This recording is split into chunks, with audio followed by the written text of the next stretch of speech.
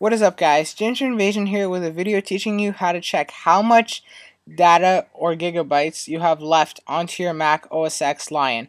And the reason I'm saying OS X Lion is because it's a little different from Snow Leopard.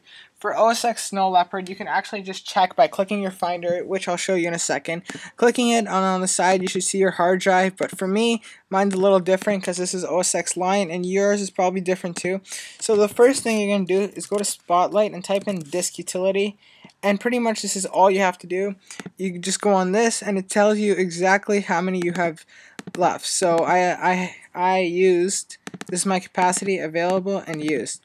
So it's pretty neat to actually know how much you have left because don't you don't want to go crazy with your gigabytes and end up wasting it making your computer slow. So I hope you guys uh, like this video and I hope you leave a like, comment, and make sure to subscribe. I'm Ginger Invasion. I'll be signing out. Peace.